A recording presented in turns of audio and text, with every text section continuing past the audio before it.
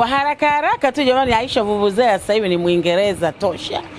Yaani hapa toka aingie ameshaongea maneno ya Kiingereza yapatayo nane. Eh, it is enough for you. Nimesikia nyingine. Eh, silikwambia nilimwambia kwamba inatosha. Yeah. Una darasa la English course? Yeah, anajifunza kwa sababu kule wanatuambia you need to learn how to speak English. Mm -hmm. Yes.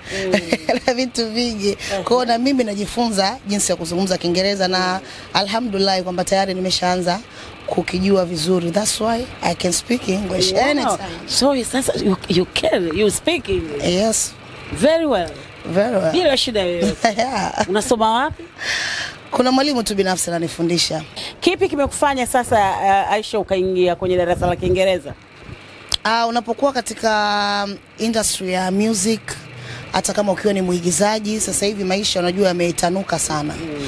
Ndio maana unakuta wenzetu sasa hivi unakuta ni kawaida mtu wa movie kwenda kuact movie mm. nchi zingine na kujumuika na watu wengine. Mfano umeona kama Diamond Platinum kwenye ile nini Afrika ambayo imejikusanya wasanii mbalimbali na wengine ambao sio wasanii, watu maarufu. Kwa hiyo unawekwa sehemu kama ile, pengine kuna kitu amependa kutoka kwako, alafu hujui kuongea Kiingereza so Yeah, you don't know how to speak English.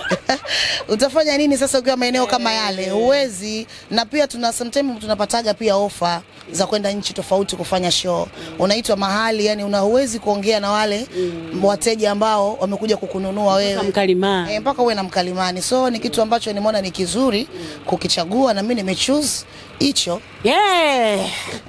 Aisha amechuzi ku learn English sasa hivi. Uh, nini kilichokuamsha? Kilichoniamsha nisisemwe pia.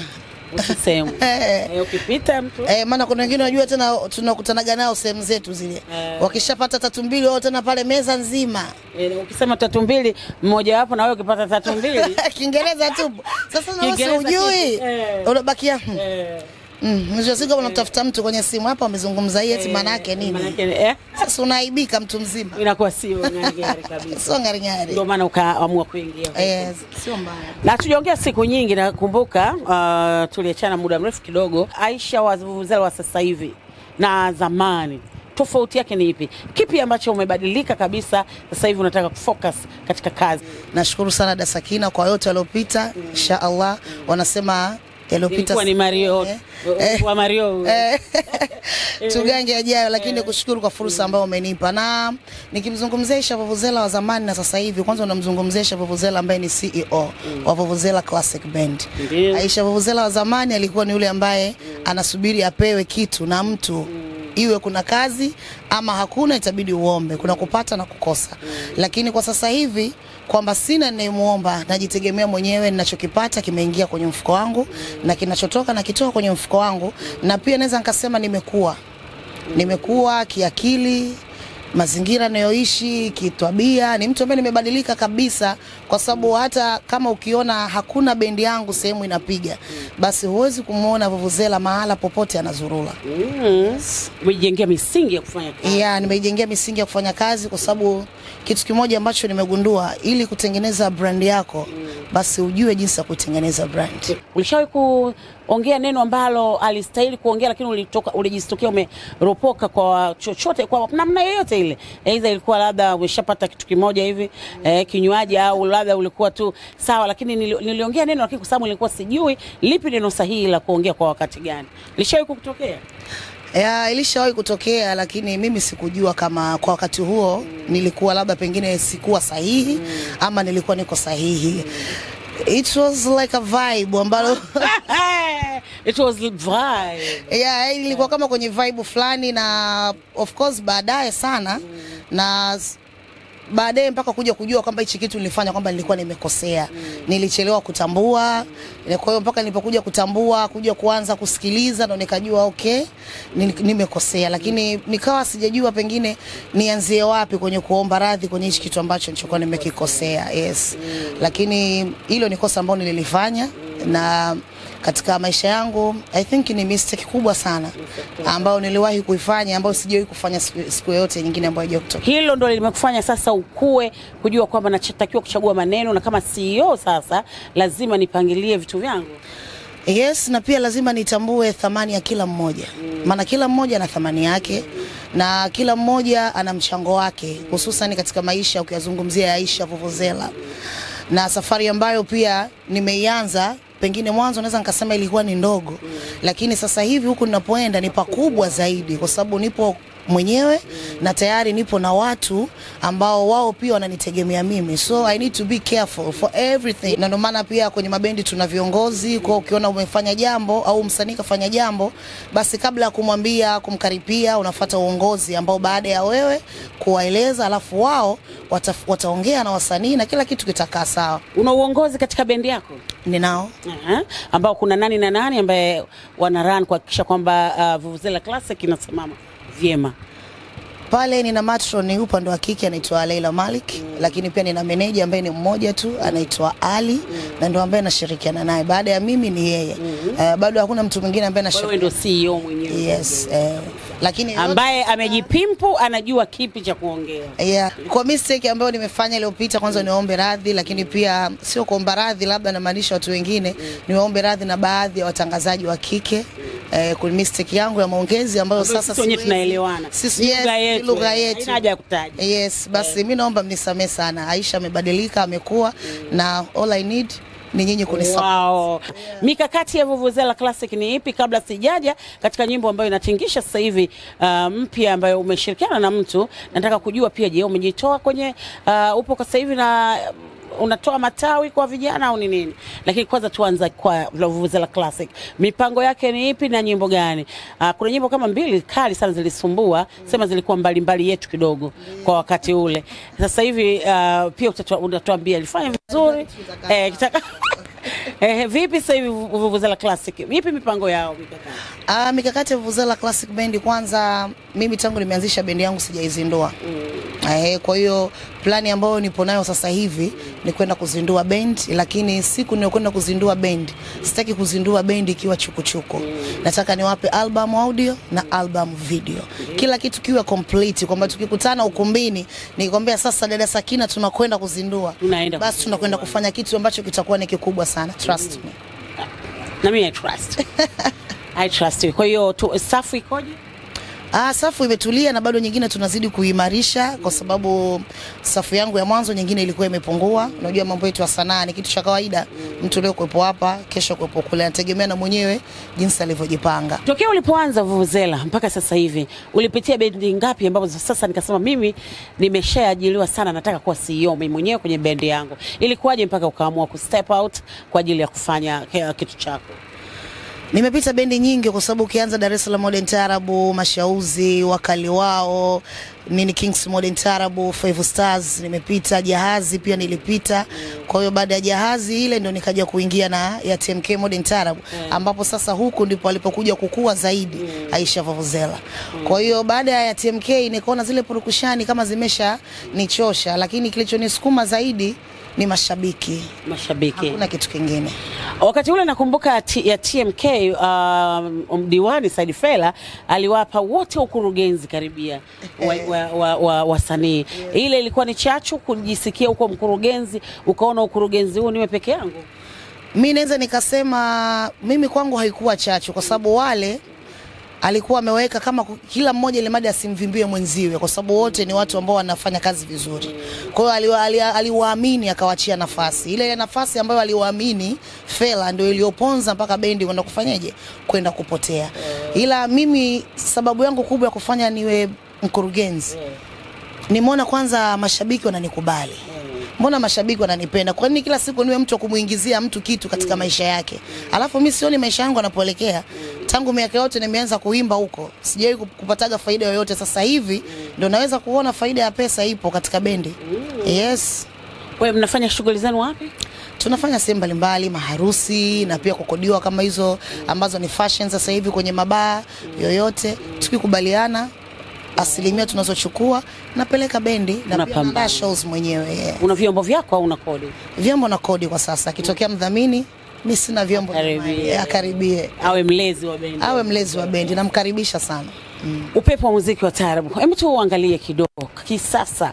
Mna plani gani hapa ya kuweka kisasa eh, uwe ki, ki, kizungu kidogo, ione kinyimbo za taarabu ni ndefu, kuzifupisha fupisha ili ziwe katika soko. Ah, hiyo ndio plani iliyokuwepo na mimi nilishatoa wimbo na dakika tatu unaitwa Melipokea. Melipokea. Ah, yes, nime... Mtupe kidogo.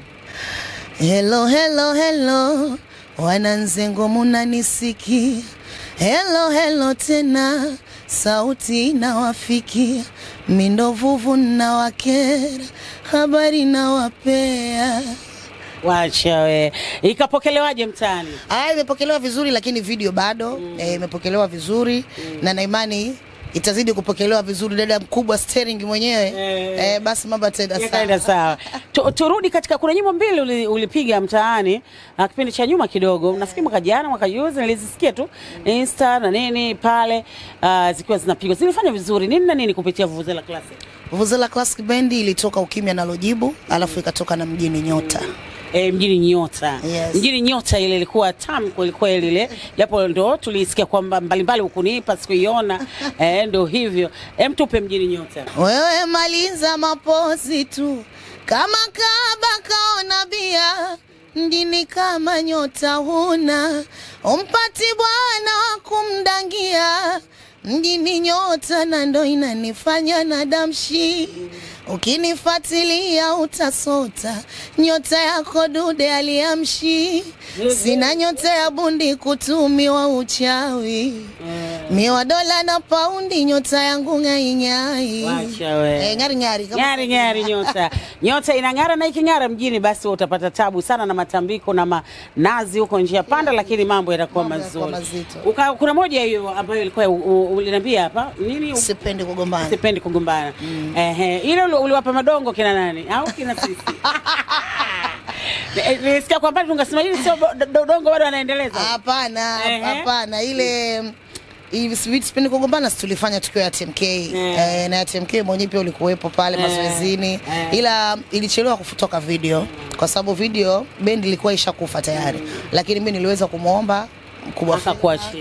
eh, nifanye video nikapata ruksa yake basi na mimi hiyo video ipo video hiyo, yes video iko tayari leo tutaiona live kabisa. Haya, tupe kidogo eh, tusipende kugombana. nonifanyia sijali, najua mitihani, mimi nastahamili, siweki kinyongoroni. Usafi wangu wa moyo Mungu kanijalia, mimi nzuri sifa yangu, ndo maana mwanichukia. Ukisema potelea mbali, nawambia wakazi gani? na namjali anayenijali namthamini anayenithamini Ndio maana wakasema watu dongo hilo. Tulifunike kombe mwana haramu apite, kwa sababu tunaanza upya. Niko leo na Isha Vuvuzela akiwa anapiga ngangali zake hapa, lakini kaongozana na handsome boy mmoja hivi ambayo wana wimbo wao mmoja. Uh, amekushirikisha, umemshirikisha? Yeye ndo amenishirikisha Ah, Mmependeza, mmependeza mmependeza. Inazungumzia nini? ni mambo ya harusi nimezungumzia harusi kwamba mimi na yeye ni mtu na kaka Eh. kwa hiyo tumemwozesha tumemwozesha mdogo wetu. Mdogo wetu ndio tumemwozesha kwamba kapata mume. Kwa hiyo tunazungumza na mdogo wetu tunazungumza na yule mume pia kwamba wote wawili mm. wamependeza na wanapoenda wakapendane mapenzi yao yapake marashi. Eh, jiko lisichache. lisichache hii- e, ita- itashika sana kwenye maharusi. eh, Kwa hiyo utunzi wake mwenyewe au? Utunzi ni wa kwake mwenyewe. Mimi nimekuta tayari kashatafuna mimi nikaenda kumeza. Ehe, ilikuwaje akakuamua kwa kushirikisha wewe? Ah, Tony ni mdogo wangu wa muda mrefu sana. Mm. Ni mdogo wangu wa muda mrefu, tunajuana na siku nyingi najua kama ana kipaji cha kuimba. Mm. Ila tu akajaga akapotea. So nilipokuja kupata simu kupitia ofisini kwao, nilipokuja kumuona, ah, mbona mimi huyu namfahamu? Umeona eh? Kwamba tuone tunafahamiana wote. Na ninajua kipaji chake muda mrefu, najua kikakaa mwenyewe maskana na waimbia hapa na wenzie. Kwa hiyo nikaona mashallah kwamba sasa Mwenyezi Mungu eh, amemnyoshea mikono yake na mimi nipo. Nimefanya naye na zipo nyingi nimefanya na seneta Kilaka pia mm. tutakuja Ni mtindo gani? seneta Kilaka Singeli Singeli yeye huyu huyu tumefanya mahadhi ya mduara bongo flava mduara bongo flavor flava. Bongo flava mduara ambayo sasa hivi inatikisa sana. Sana. Kwa hiyo taarabu pamoja na uh, ubongo wa flava, yes. au bongo flava ambayo imeshiriki kwa pamoja mduara mmoja umekuwa amazing. ng'ari ng'ari kabisa. Inaitwa mmependeza mmependeza ambayo tutakuja kuongea sasa na dogo ili atuambie, lakini wewe kwa kabla sija kuacha ili niongee na handsome boy pale, mm. una lolote la kuambia mashabiki zako? Ah, mashabiki zangu kwanza, kikubwa ambacho nawaambiaga siku zote nawashukuru sana mm. na pia Mwenyezi Mungu aendelee kuwaweka awajalie mepesi katika maisha yao, ili mradi waweze kunipenda wale wote wanaonipenda, lakini pia waendelee kunifollow kwenye peji yangu ya Instagram.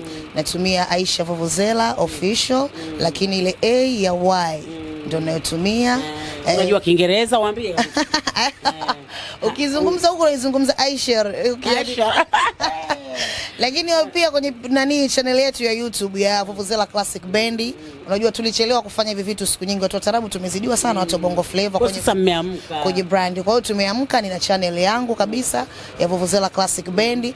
Pale ukienda usisahau kusubscribe kwa sababu kuna nyimbo mpya inakuja inaitwa acha ni dili na wewe. Acha ni dili na wewe. Yes. Ingizo jipya kutoka Vuvuzela. Classic Band. Tunaisubiri kwa hamu kweli kweli. Hawa waliomcheza hawana wanalolijua, mie upya namcheza na mkono wake apokee. Eh, aimba kidogo hiyo. Hao walokucheza hawana wanalojua, leo upya na kucheza mkole wako pokea. Hata bado sijamaliza na mengi ya kuongea, shari ulioianza mie naimalizia. Usinichukulie poa kuniletea mchezo, sipendagi mazoea, unikome uso wa guzo. Haya, hapo kwenye Uso usowaguzo sisi tunasubiri. Haya, maana usowaguzo wanakuwaje inakuwa kidogo. Uso mm. eh, salamu zikifika watajuana huko uso wa guzo kwenye marushano. Usowaguzo nani? Nani? Mimi nakushukuru sana uh, Aisha. Uh, tutawasiliana siku nyingine. Shukrani shukran Shukran sana. Jamani, na zawadi kaniletea Aisha. Hizi zieleni leo zinatoka kwa Aisha. Kadi hujaniletea lakini. Kadi ya I am sorry. Utapata hiyo, nitaileta special, itakuja Haya. kama ua yake nini, vike kikeki. Ndo uzungu. Haya. Mm, Thank you. Haya, asante. Kila la heri. Haya.